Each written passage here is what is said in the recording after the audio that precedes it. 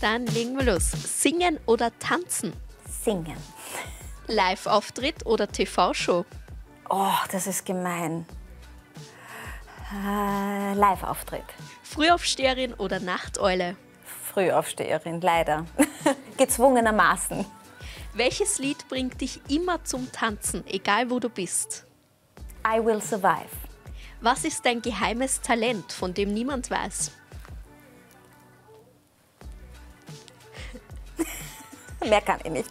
Wenn du einen Tag lang ein Mann sein könntest, was würdest du als erstes tun? Pinkeln. Im Stehen. Welches Emoji benutzt du am häufigsten und warum? Das. Weil ich mich auch meistens so fühle. Ach Gott, nicht schon wieder.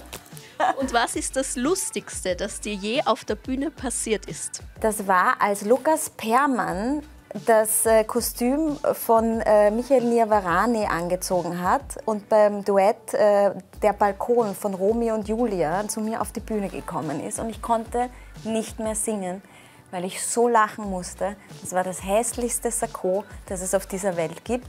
Und es war viel zu groß und Lukas Perman, hat, Perman hatte es an. Es war sehr lustig. Er hat mit meinem Mann gewettet um 5 Euro und er hat es wirklich gemacht.